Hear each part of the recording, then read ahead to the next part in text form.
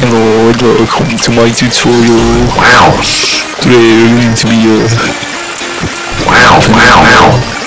JPEG file on a Windows computer. There's a few ways you can actually manage to do this. Seymour, We Yo. use one is just I made you a sandwich. clicking the file you wish You to need me a sandwich?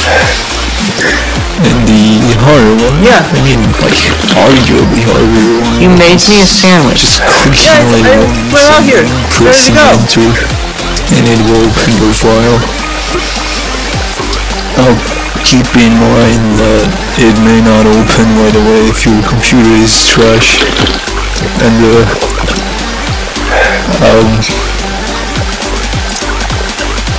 also keep in mind that there's a few ways, few alternative ways you can actually manage to open a file on your Windows computer.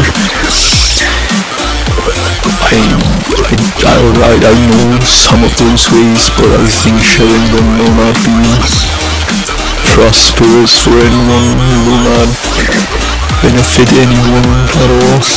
So, that, that was about the extent of my tutorial. Seymour, So thank you for watching the tutorial, and uh, yeah, I'm, I'm, I'm glad, I'm glad.